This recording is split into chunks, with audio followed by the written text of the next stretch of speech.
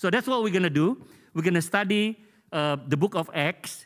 Last week we already covered some uh, material from the book of Acts, but if you ever forget, you know, what's the purpose of studying the book of Acts?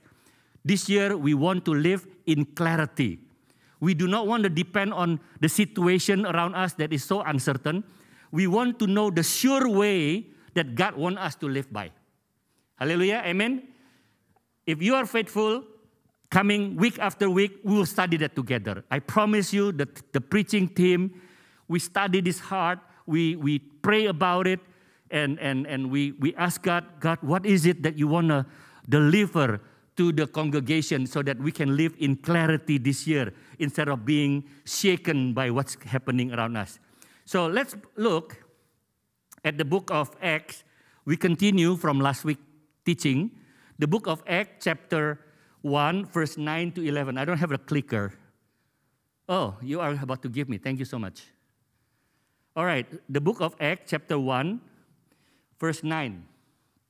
Okay, just to give you a background, how we come to verse 9.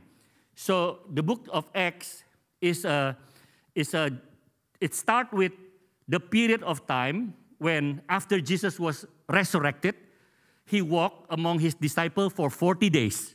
40, everybody say 40. 40. And then this is the 40th day. What happened on the 40th day? On the 40th day, Jesus was taken up to heaven.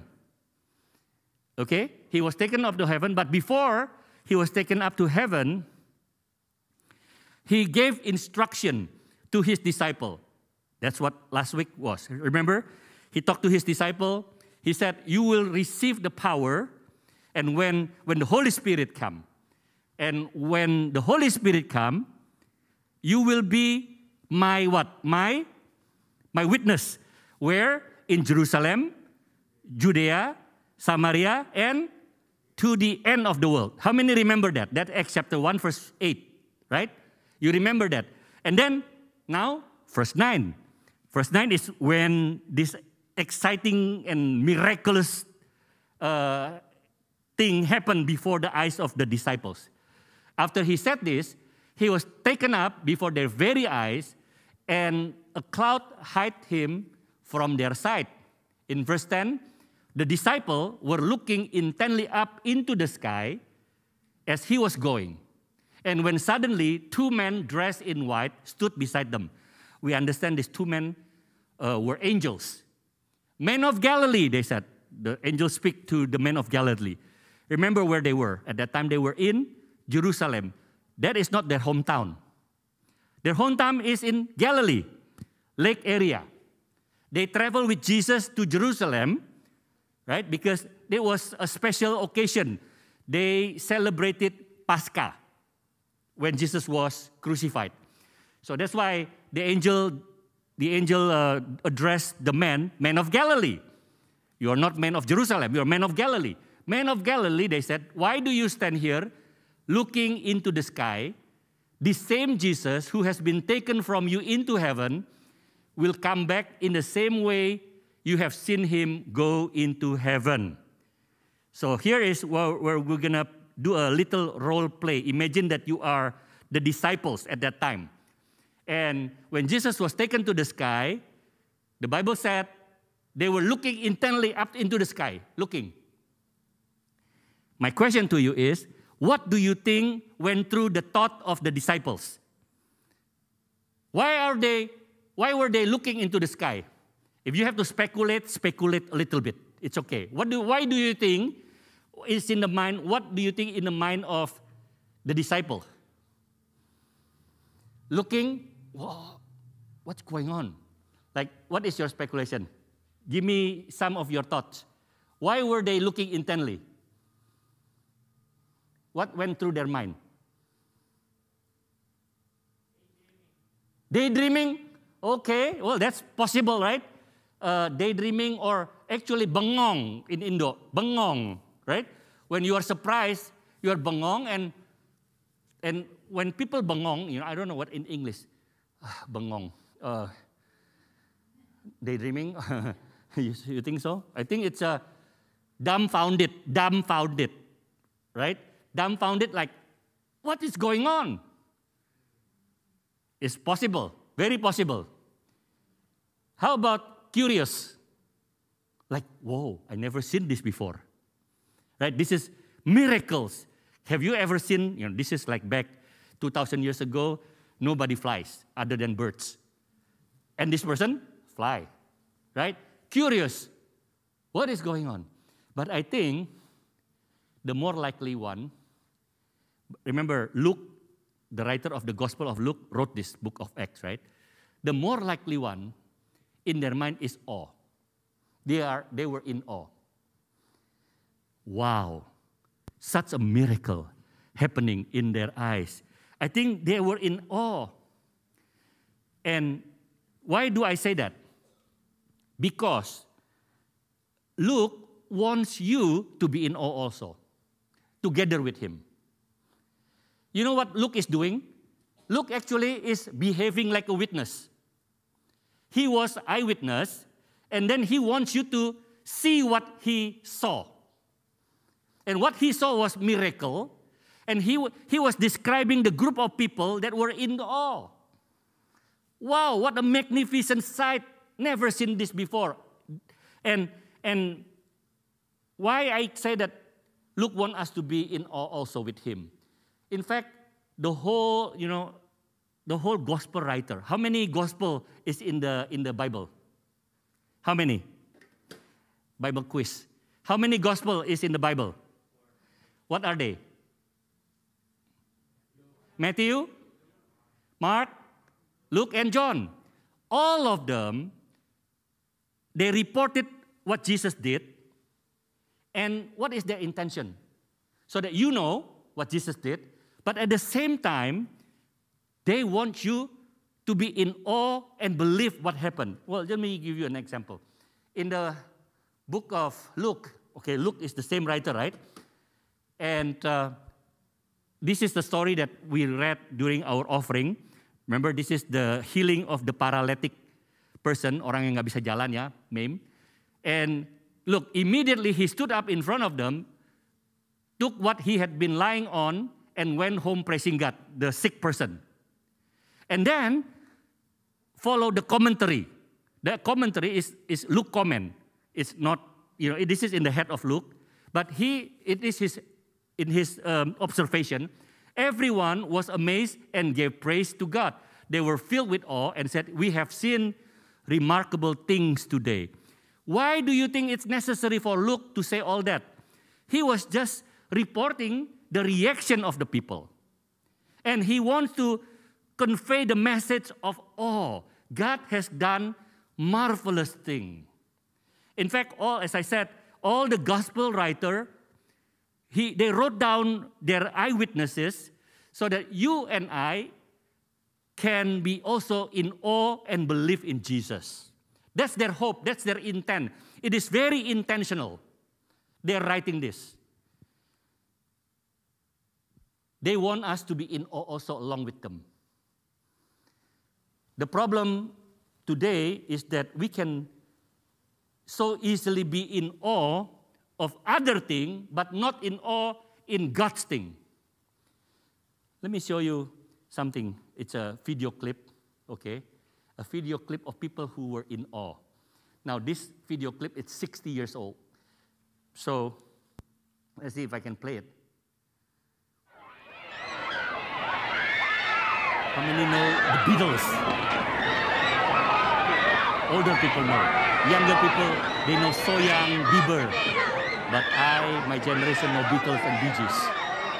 But this is a video of when the Beatles came from to America from England. They were England English band. Okay, and then they came to America. This guy, his name is Ed Sullivan. He was the first one who introduced the Beatles to the American audience. Look at the people. She was in awe. Udah mau pingsan tuh.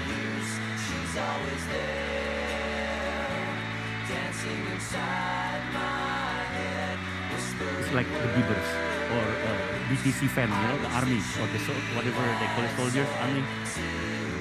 Huh? What is that? BTS. BTS. Okay. All right. So similar. And then you know this, this video is three minutes. Can we jump to the last?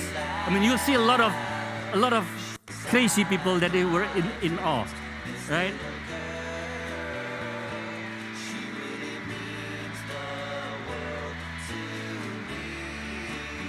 Do you think they're handsome? What do you think, girls? You think they are handsome? Okay, all right. So that's that's the you know in awe, right? We we lost the capability to be in awe, and, but at the same time we're not li- really losing it because we are redirecting it. We can we can be easily in awe with singers, you know. The the last one that I really like is So Young. So Young. So Young, something like that. You know So Young? Anybody know So Young? Oh, you don't know So Young?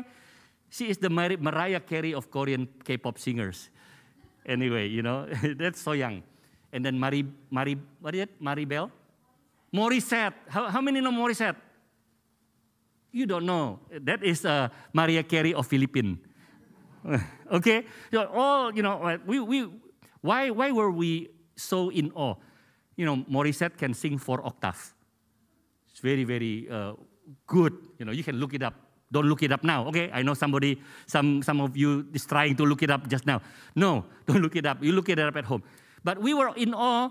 You know, we, we can be in awe when we stand uh, in front of uh, pictures painted by Picasso or Van Gogh, or when we when we went to Sistine Chapel in Rome, you know, it's big building, we can say, oh, in awe. You know, in fact, any cathedral, if you go to from Rome to Jakarta, even the Jakarta Cathedral, that is so big, right? And you can be in awe. But why did we not in awe sometime? We when when God is doing wonderful, remarkable thing. We, we are not in awe. We should be in awe. And the writer of the gospel wants you to be in awe. Hallelujah. They intentionally want us to, to be in awe, to, to magnify God. You know, when God heal you from the disease, sickness so bad. Some of you, I know God brought you out from very bad sickness. Are you being able to say, God indeed has done remarkable thing. Tuhan itu luar biasa. Can you still say that? When God, you, God brought you out from sickness, I was in sickness in 2011, and I look back, I can say, God, you are awesome. Thank you, God, I'm still here. You still want to do something through my life. When God brought you out from a very difficult financial situation,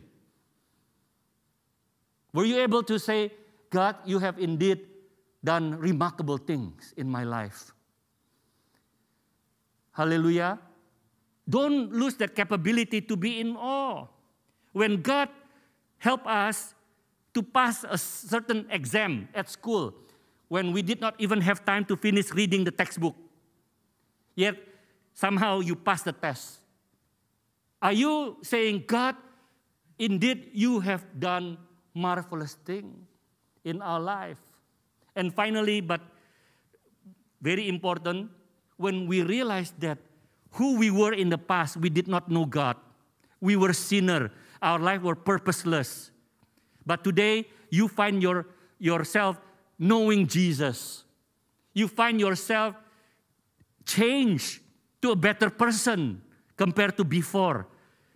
And that is a miracle because nobody can change. It's only the power of the Holy Spirit and your willingness to surrender to Him. But yet you are here today. Are you able to say, God, you indeed have done marvelous thing, remarkable thing in my life? Don't lose that capability to be in awe. Because if you are if you are in awe, if you can develop this attitude of in awe, let me tell you, your worship will get deeper.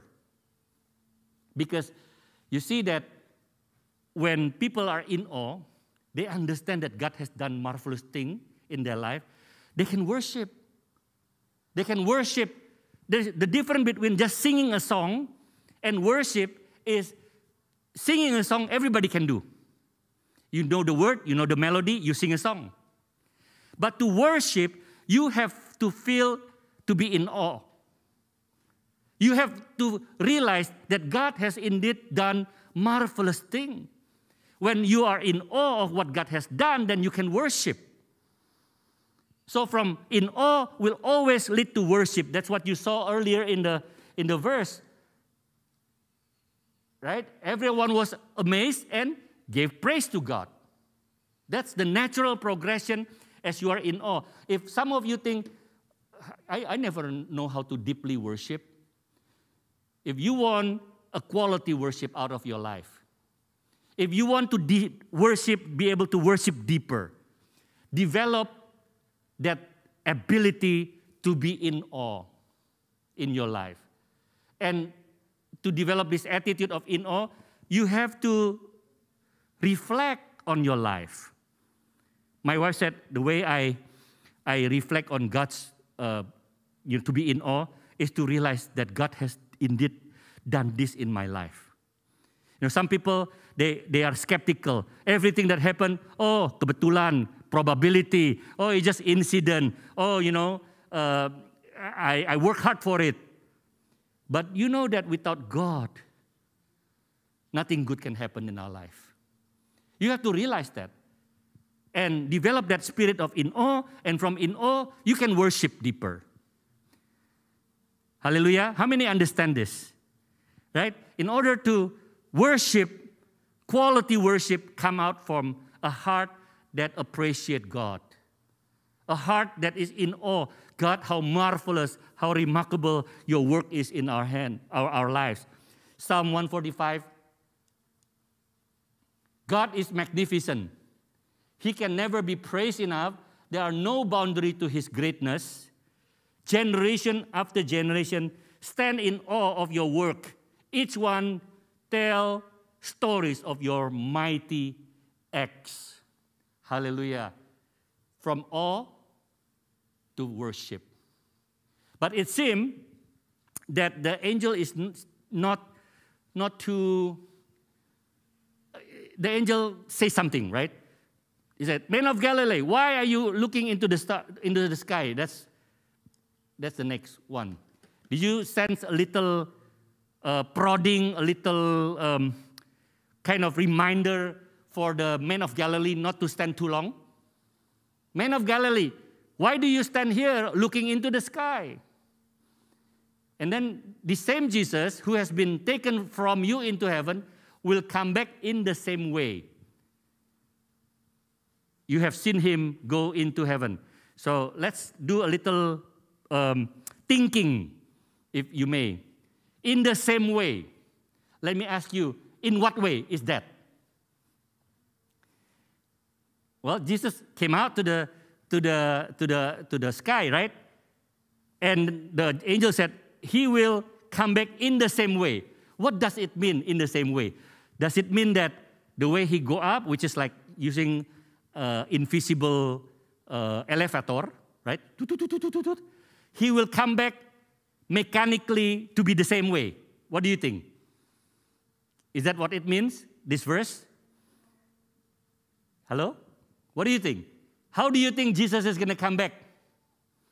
Just the same way? Up, down, like elevator, right? Another elevator, come back down. Well, it is possible. But I think it means more than that. What does it mean? In the same way that he went up, in the same way he will come down. Now, to understand that, I do a little study, and that word in the same way in Greek is called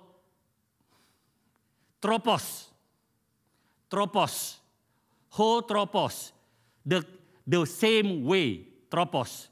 And what it means is in the same way, in the same manner, in the same circumstances, in the same style. Okay? Now, I think it means more than just coming down with invisible calculator. I think it's talking about the same circumstances. What circumstances, you may ask? Now, to understand the circumstances is this you have to read a few verses beyond what you read here. What is the circumstances surrounding Jesus go up? And you will find that this is the circumstances. I'm doing a little Bible study, so you need to use your brain a little bit, okay? Look, verse 6, right? Verse 9 is when Jesus was taken from heaven. Verse 6, Jesus gathered around Jesus and had conversation about what? About the power, about restoration of the kingdom, right? And Jesus, in verse 7 to 8, Jesus gave a mission to the disciple, right? You will receive the power. And after the instruction, he was taken up. So that is the circumstances. Now, uh, when I read this, I remember actually Jesus did give a hint on going away.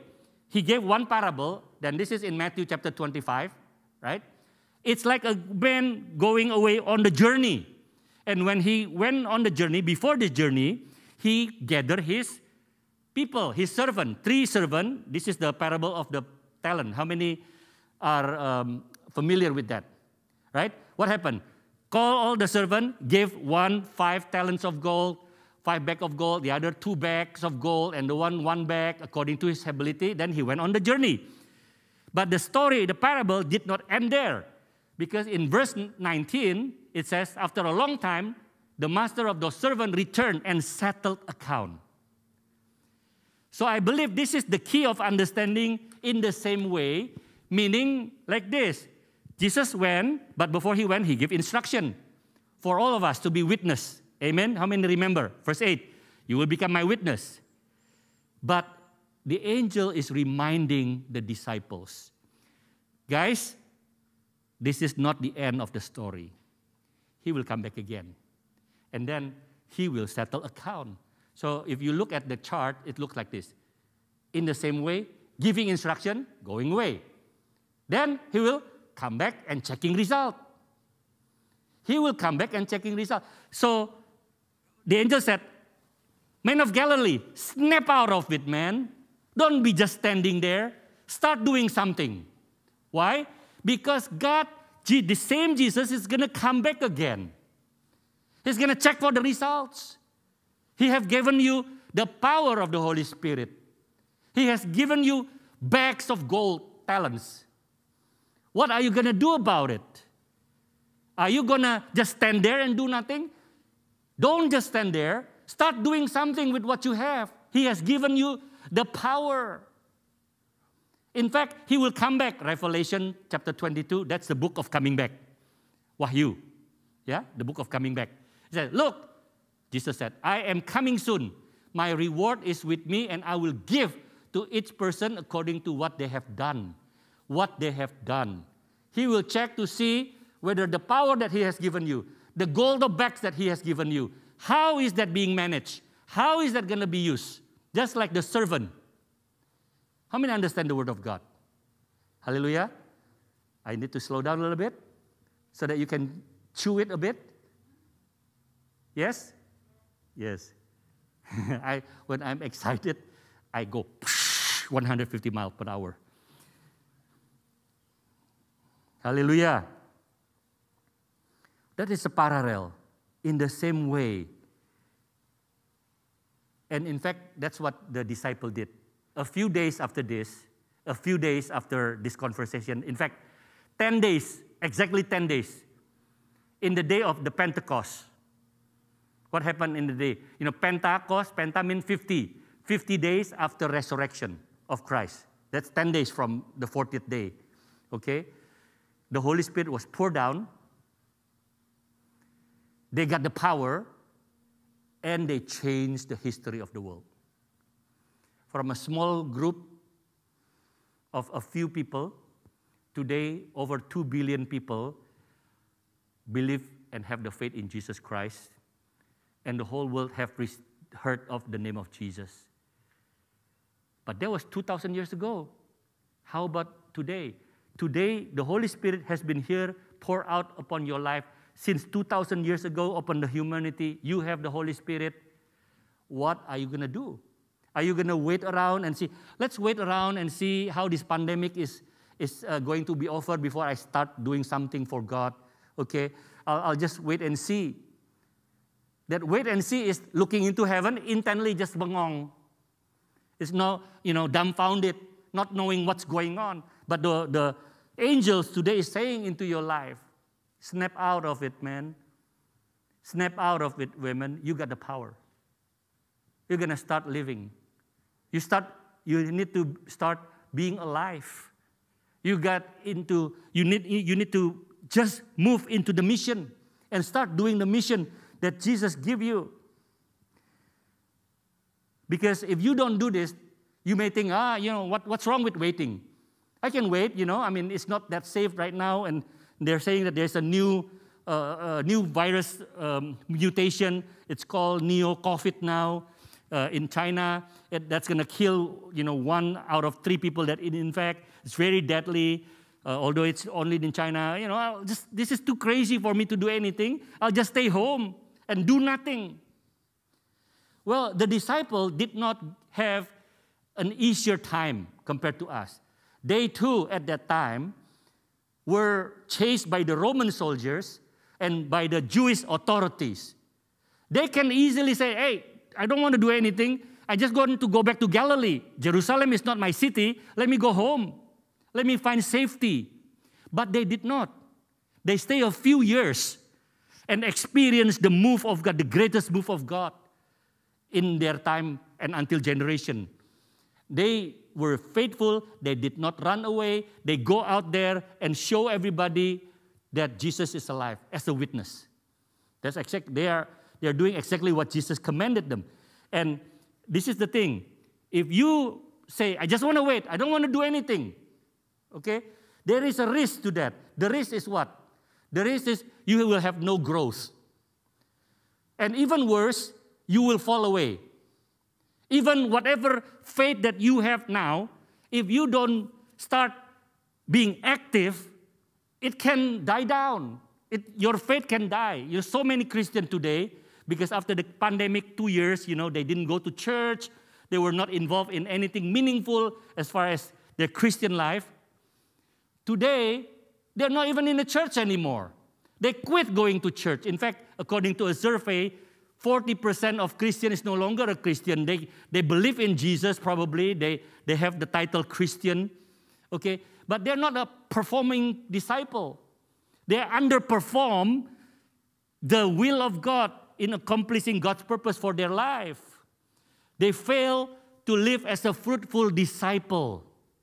They were still looking into heaven, curious what's gonna, what God's going to do next time. You know, I just curious, but stand there doing nothing. I think you and I, we need to start taking action, just like the disciple. Hallelujah. I know I preached a little longer today. Allow me a few more minutes to land this. Is it okay? Yeah? A few more minutes? It's time for us to listen to the angels. That's exactly what you need to do to, to start living your life according to the purpose. You need to start being a witness because that is the last instruction that J- Jesus gave to his disciple. You need to be a witness. So the question is how do we become witness? How do we become witness for Christ? By turning, listen to this, by turning the thing that you are in awe of into testimony. By giving him credit of all the successes we received. By acknowledging him with all the help he has given us during our time of difficulty. Being a witness. Hallelujah. It's very simple. Being a witness does not mean you have to become a pastor. If God called you to be a pastor, that's great. But you can be a witness in everything that you do daily. If God calls you to be a student, then study hard, pray hard, and then tell others. God indeed has given me do, doing remarkable thing in my life. If you are a career person, work hard, get that promotion, and then testify when you get the promotion. God indeed has done remarkable thing in my life. That's what a witness is. If you're a parent, teach your children to be a godly children and then give God the credit that God has indeed done remarkable thing in our family. Hallelujah. How many understand it? If you are a disciple of Jesus, study the word. Know the wisdom of God's word. And get the wisdom and then give credit to God. God tell others God has indeed done remarkable thing in our life. In all season of your life, let me close with this. In all season of your life, observe God's hand on your life and then give God credit by giving testimony as a witnesses so others will know that Jesus is indeed alive in your lives. Hallelujah. In the same way, he will he went, so he will come. That means he will check on your life. Somebody said, doing nothing gets you nothing. You want to get nothing? Then do nothing. And someone who like to play soccer say this, football in Indo. You cannot score a goal when you are sitting on the bench. Jadi pemain cadangan itu gak bisa dapat goal. If you want to get a goal, to do so, you have to dress up with your sports uh, clothing and enter the game.